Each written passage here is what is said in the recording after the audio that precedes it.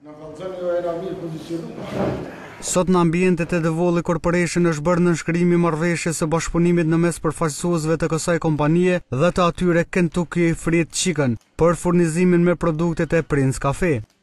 Anëtari i bordit të Devolli Corporation, Nehat Devolli, ka thënë se marrëveshja e nënshkruar sot nënkupton prezencën e produktit të Devolli Prince Caffe Espresso në të gjitha pikat e KFC-së në botë. Nënshkruam marrëveshje me një ndër rrjetet më të mëdha botërore të restoraneve të ushqimit të shpejtë, KFC. Kjo marrëveshje nënkupton që ne do të jemi prezent me produktin tonë Prince Caffe Espresso. Kriteret që kjo kompani aplikon janë shumë të larta, mirëpo mbasi që ne kemi përvojë të madhe në në distribuimin e produktit tonë ndërkombëtarisht, ne nuk e kemi pasur problem që t'i plotësojmë këto kritere. Shfrytëzoj rastin ta falënderoj zotrin Fatmir Zymberin, i cili ka qenë një ndër iniciatorët e këtij bashkëpunimit.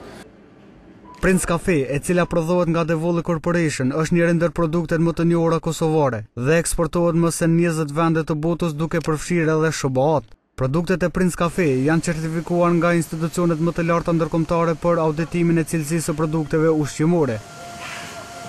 Njëri prej pronarëve të KFC-së në Kosovë, Fatmir Zymberi, tha se nga sot kafja Prince Caffe Espresso, nga kompania Devolli, shitet në të gjitha pikat e botës së KFC-së. Nga sot kafja Prince Caffe mund shitet në çdo vend botës në restoranet e KFC-së. Unë ndihem shumë i lumtur, pasi që ne si një shtet i ri, edhe shumica e prodhuesve në Kosovë janë të ri dhe kemi arritë që ky produkt të jetë në çdo vend botës. E themeluar në SHBA nga kolonel Harland Sanders, KFC është njëri ndër rrjetet më të mëdha të restoranteve të ushqimit të shpejtë në botë. Ajo është prezente në njëqind e njëzet e tre vende të botës me mbi njëzet mijë lokacione në mbarë botën.